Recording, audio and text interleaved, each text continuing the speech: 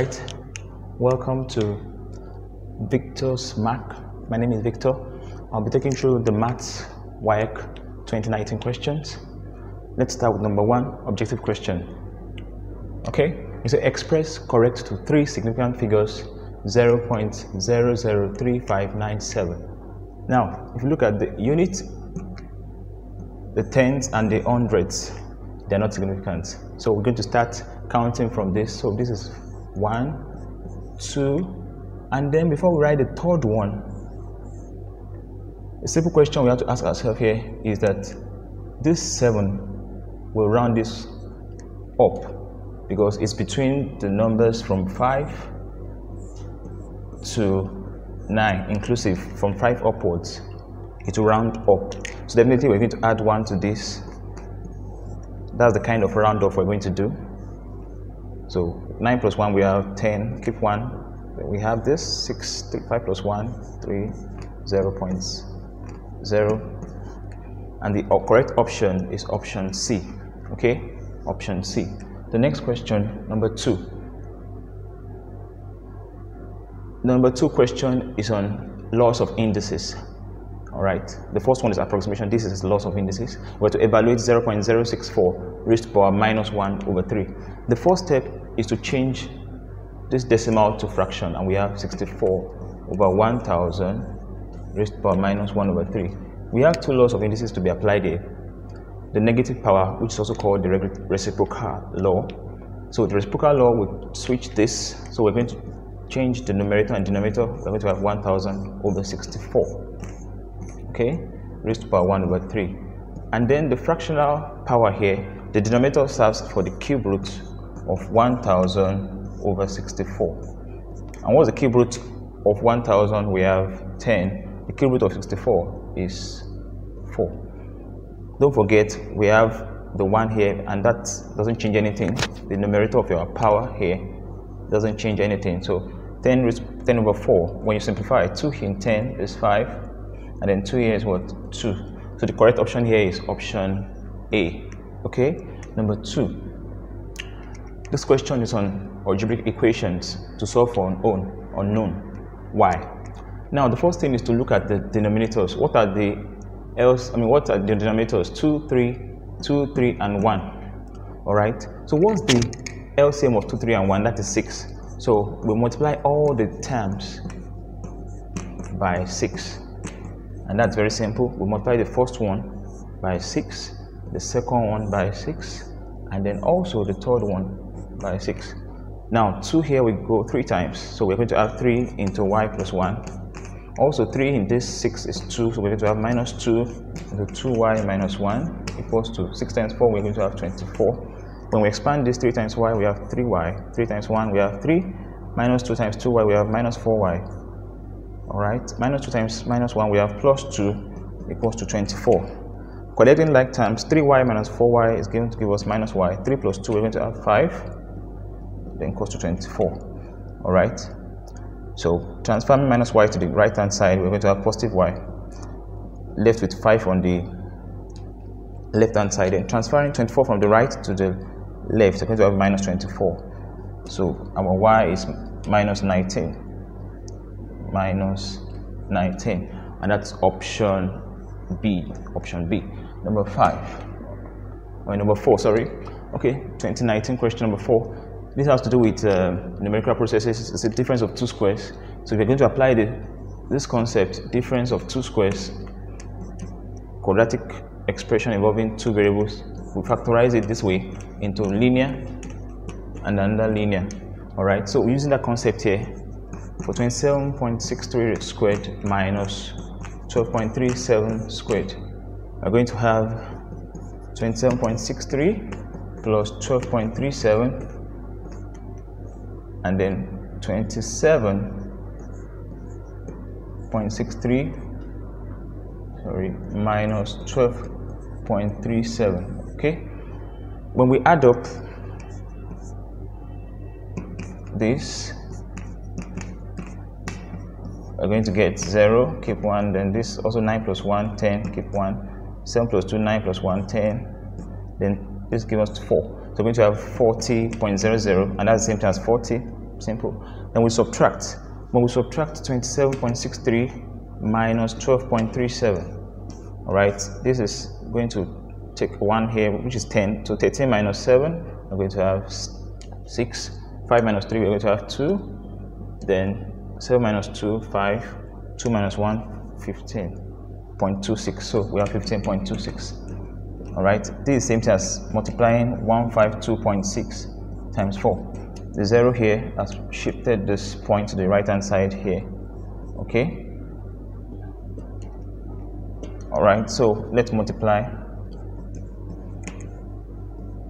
And when we multiply, we're going to have 40, 24, 4 times 6 is 24 all right 4 times 2 we have 8 8 plus 2 we have 10 so we have 0 keep 1 4 times 5 20 plus this 1 21 so we have 2 then 4 times 1 we have 4 plus 2 6 now we're to do it to the correct the three significant figures. So we need to count this the first second and then the third. Looking at this 4 the kind of round off here this 4 can't round this one up but it's rounded down because it's not it's not from it's not numbers from 5 upward so when we add 0 to this 0, we're going to have 16. So the answer is D. Option D is correct answer. Number 5. Number 5 is about modular arithmetic. Alright. And it's that what number, I said if 7 plus y equals to 4, modulo 8, find the least value of y between this range 10 less than equals to y, y less than equals to 30. Now, the first thing is to establish that the numbers are going to have what number must be added to 7 as y to get 4 all right let's do the normal linear equation. When we transfer y means 7 to the right hand side we're going to have 4 minus 7 and that's y equals to minus 3 now all we have to do is to think of all the multi i mean just add 8 to this minus 3 so the next possible answer because this minus 3 doesn't lie within this range. So another possible solution is to add 8 which is our modulo. So we add 8 we're going to have 8 minus 3 is 5 but 5 is not within this range. So we're going to take add another 8 that's 13 you can also get more values by adding 8 21 add 8 29 but these values are not permissible even though they are within this range. But the reason is that they said find the least value of y. So we our final answer will be 13 because it lies between this range it means that when we add 7 plus 13 which is 20 when we divide by the modulo we divide 20 by 8 the quotient is 2 that is, is 2 times remainder 4 so we are really interested in the remainder because in modular arithmetic we throw away the quotient we only write the remainder unlike in number based system okay? So the answer here is option b all right? Okay the next one number six it said if t is prime numbers and then m odd numbers are subsets of the universal set now, our universal set are the set of integers x. 0 is strictly less than x. That is, our x is strictly greater than 0. Alright? And x is less than equal to 10. So, what are the values here? We have 1, 2, 3, 4, 5, 6, 7, 8, 9, 10. Alright, 10 is inclusive, but 0 is not included. Alright, so t, what are the prime numbers between 1 to 10? the prime numbers we have 2 3 5 7 and i think that's all. Okay. Then for the odd numbers we have odd numbers we have 1 3 5 7 9 okay. Now for t prime we're going to have the t prime or t complement means the elements in the universal set the universal set but not in T. So what are the numbers missing here? We have 1, we have 4, we have 6, 8, 9, and 10. But for the M complement, or you call it M prime, alright, because we have to find T prime intersection M prime. So M prime also means the same element in the universal set, but not in M. And what are the missing elements or numbers? We have 2, 4, 6, 8, and 10. Now, looking at these two sets, what is the intersection between them? What's the intersection? T prime intersection M prime. What's common? That's the meaning of intersection. Where they intersect? Okay. All right. So we have four. It's common. Six is common. Eight is common, and ten is common. Definitely, our answer is option A. Four, six, eight, and ten. Option A. All right. The next one is about logarithm, simplifying logarithmic expression in fractional form. We have several methods, but I would like us to use this method log 3, log 9 base 3. All right. Simplifying this 9, how do we rewrite 9? With the power of 3, that is 3 is power 2, and then the 2 can be transferred forward here. We have 2 log 3 base 3, and then that's same as 2 times 1 because the logarithm of the base itself is always 1 and that's 2 then for the second term at the numerator log 8 base 2 all right also the same procedure.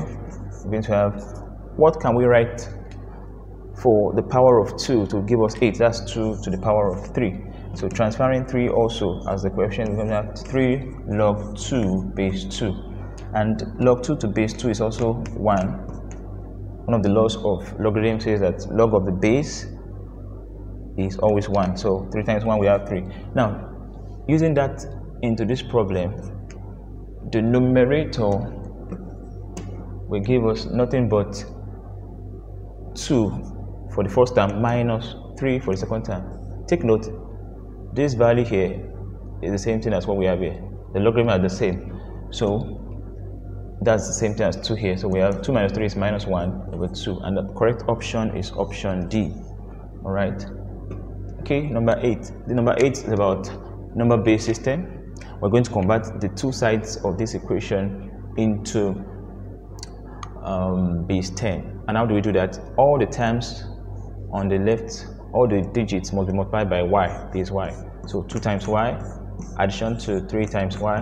The same thing on the right hand side, all the digits must be multiplied by the base 2 so we have 1 times 2 1 times 2 1 times 2 1 times 2 all right then we assign powers from the last base 2 here 0 power 1 2 3 also for the y to base y here will be raised power 1 then this y will be raised power no sorry this one will be 0 and then this one will be 1 all right okay so 2 times y we have 2y y to raised power 0 is 1, so 1 times 3 we have 3. The first one is 3 raised power 3, that's 8, 8 times 1 we have 8. 3 raised power 2, 4 times 1 we have 4. 3 raised power 1, 2 times 1 we have 2. 3 raised power 0 is 1, 1 times 1 we have 1, okay? Alright, when we had all the right hand side, let's have this first. Then we had all the right hand side, 8 plus 4, 12, 12 plus 2, 14 plus 1, 15. Subtract 3 from both sides or you just simply say transfer 3 to the right hand side becomes negative we're going to have 2y equals to 12 divide both sides by 2 then our y equals to 6 so the base number here is actually 23 base 6 and the answer is C all right the next question is on sequences this is arithmetic progression or you call it arithmetic sequence now in arithmetic sequence we know that consecutive terms differs by a difference and it's always common difference. And how do we get common difference is to always subtract from a term the immediate previous term. For this case now, the previous term to p is 6, so we subtract 6 from p. That's a difference. Also, next to 14 is p. I mean, next to p is 14, sorry. So we subtract from 14 p to get the common difference. Meaning that these are consecutive terms, I can say to call it first, second, and third.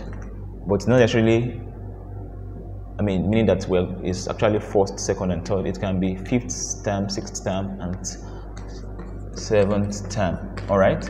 So, but the concept is that when we subtract from a term the previous, we get the common difference. And when we subtract from a term the previous, we're going to get common difference and then we equate them because it's a common difference. So let's solve this equation now.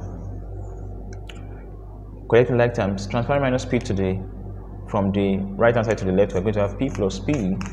Then transferring minus 6 from the left to the right, we're going to have a positive 6 on the right. That's 20.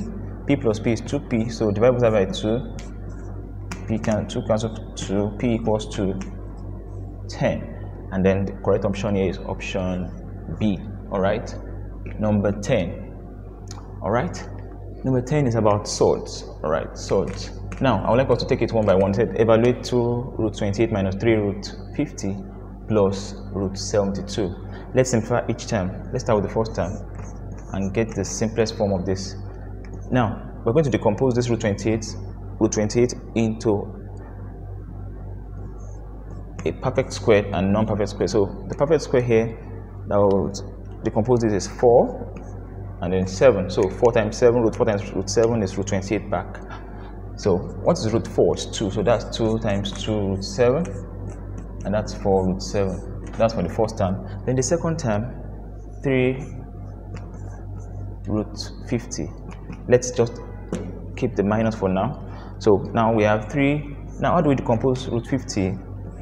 That would be a perfect square, that is the square root of 25, which is perfect square, times root 2. Alright, root 25 is 5, so 5 times 3 we have 3 times 5 root 2 3 times 5 is 15 and we have root 2 okay then the last term which is root 72 the two numbers one will be perfect and the other one will be non-perfect as 36 and the other one is 2 when you multiply we're going to get root 72 back. So root 36 is 6 and then times root 2 that's 6 root 2 all right?